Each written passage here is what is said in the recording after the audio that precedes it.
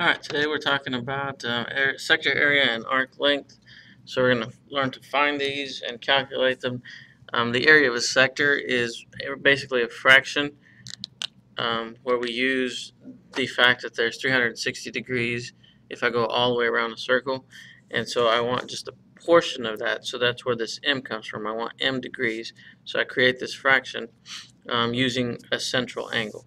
So something a little more like this um, the sector of a circle, I take from the center and I take two points on the edge and that creates this angle. That's m degrees. So to find the area of that orange piece here, I would do pi r squared like normal. That gives me the whole circle. But this m over 360 gives me a fraction, the fractional piece that I need. So let's look at a problem right here real quick and just go ahead and get that done. So the area of a sector, so I want this section HGJ, that piece. So I want to do pi r squared like normal, but then I want the angle divided by 360 or over 360.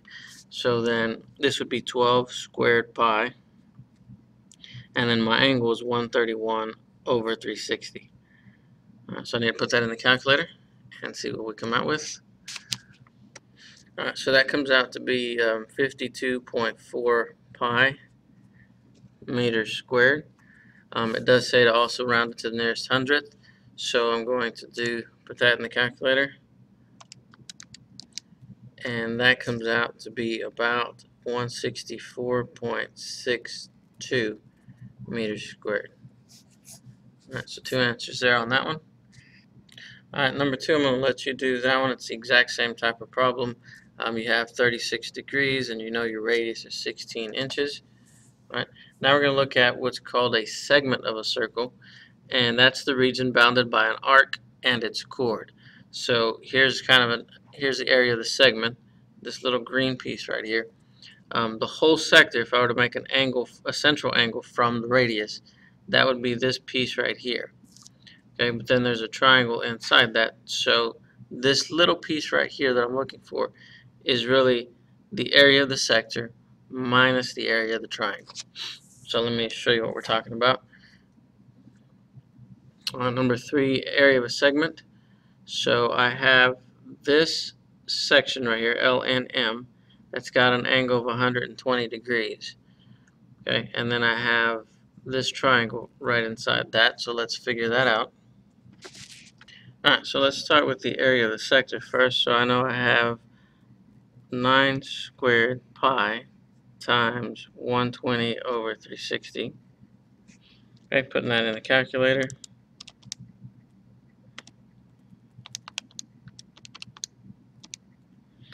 Gives me 27 pi. Alright, so now I got to find the area of the triangle. To do that, I need to draw the height. I'm going to do it this way. Now, because this is 120, um, this gets split in half and this becomes 60 so this angle right here is 30 so this part my height is 4.5 I need the area is 1 half base times height.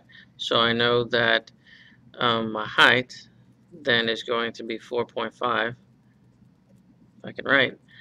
Um, this part right here since this is 4.5 it's going to be 4.5 square roots of 3 this is 4.5 square roots of 3 so the entire length is actually going to be 9 square roots of 3.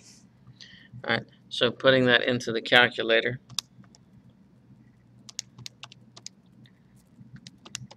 this simplifies to 20.25 square roots of 3. So area of this segment, this gray area, is going to be 27 pi minus 20.25 square roots of 3. And let's see, in the calculator that comes out to be,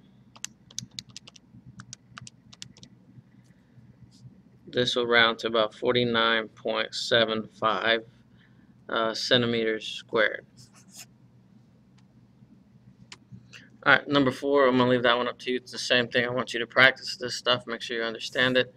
Um, we're going to look at um, the area of a sector. That's a fraction of the area of the circle. Um, the length of an arc is a fraction of the circumference. So really I just want the length of this part of the curve. So if I go all the way around that circumference, I just want a piece of that circumference. So we're going to do the same thing. We take the angle over 360 and then we times that with the circumference formula. So on number 5, um, we have this arc FG that's 134 degrees. Now, this radius is drawn over off to the side, but there's no reason why I can't go from E to F and say that that's um, 8 centimeters. So it's going to be 2 times 8 pi for my circumference. Then my angle is going to be 134 over 360. Alright, multiplying this out in fraction form, I get 268 over 45 pi. Now if I put that in the calculator, round to the nearest hundredth, like it says, that's going to be about 18.71 centimeters. That would be the length from here, from F to G. Alright, this last one I'm going to leave up to you. It's the same thing. You're just dealing with circumference. On this particular one, you just want from G, the length from G to H.